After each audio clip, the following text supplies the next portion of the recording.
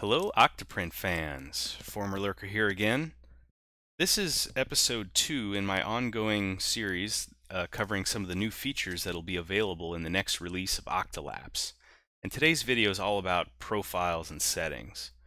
One of the things that I hear a lot online in discussions about 3D printing and Octolapse uh, are what are your settings? Uh, can you share your settings with me? Share your printer settings or your camera settings? And it's not the easiest thing to do in the world. Uh, typically, it involves looking at the screens, taking snapshots, uh, or worse yet, typing all the settings in. So I wanted to make this process a little bit easier and give people an opportunity to share the profiles that they've created with me or with the world, or maybe just back them up in case uh, in case catastrophe happens. You'll have a backup of your settings. So I have added several features to, to tackle this, and I'm going to walk through those today. So first, let's go into our printer profile settings, and you'll notice this is kind of new. These are all hyperlinks now. So if I click on the printer, it takes me to the printer page, I see I've got my MK2.5S profile here.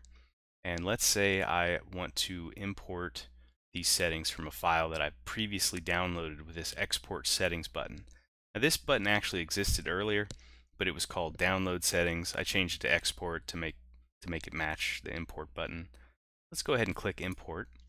And I'm uh, presented with this pop-up screen and I've got a couple options here. I can import from a file or from text. We're going to start off by importing from a file. And I'm going to click this upload button. And I've got a couple profiles that I've exported. I've got this printer profile, and this is actually all of the profiles. This is the entire uh, settings.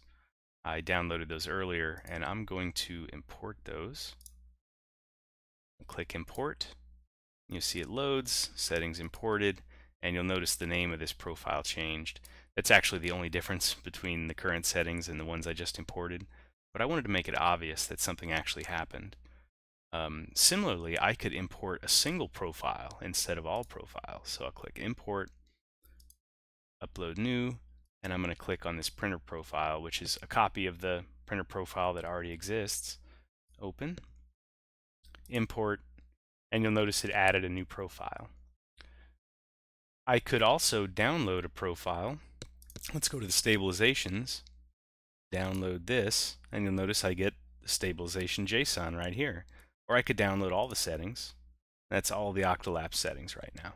And that's really all it takes to uh, download and then importing is just a matter of pointing to that file. Let me sh also show you that you can import straight from text. So I've got some JSON here. I'm going to paste in. This is the same printer profile that we imported earlier, but it's just in text form. Hit import. See that also imported. If I switch back to the printers, I see yet another profile. So that's a great way to quickly get or share settings with a friend or back them up. Um, but I wanted to make it even easier than that. Uh, there's a lot of profiles out there that come with with uh, Octolapse, a lot of printers, and frequently someone sends me a request to add a new printer or to add a new stabilization or to support some new camera. And almost always that would, in the past, that required a new release of Octolapse. But now I have a separate repository that only holds the profiles and you can actually download them straight from the server. So let's try that. I'm going to click add profile here and you can see this new import printer profile section and it's asking for your make of your printer.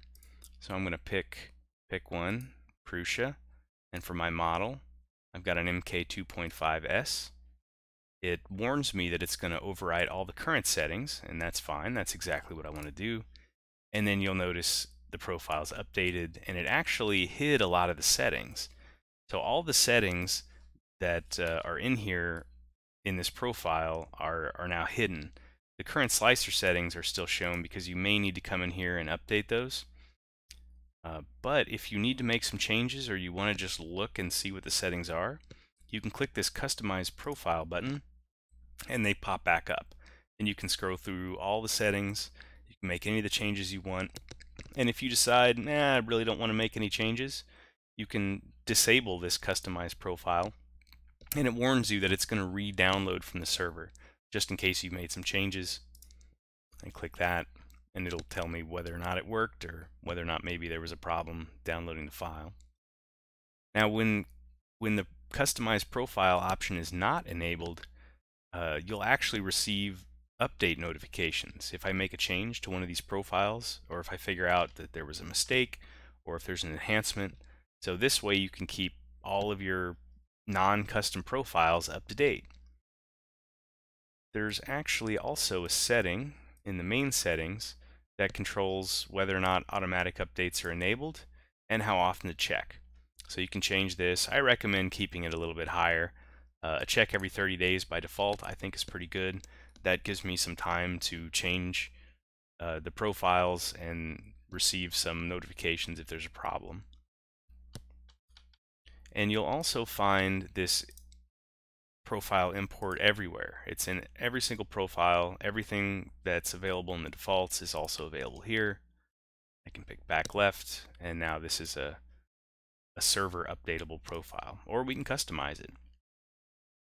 Similarly for the camera, basically all the controls have it. So hopefully that makes everything easier in terms of sharing profiles and hopefully it'll make it easier for me to keep all the profiles up to date and to add new profiles as soon as I get them ready for new printers or if I come up with a new stabilization or maybe some trigger settings tweaks. So what do you think? If you like it, leave me a comment. Let me know. Um, changes, modifications, pros, cons. Anyway, I want to hear your feedback. So thanks a lot for watching. Former Lurker out.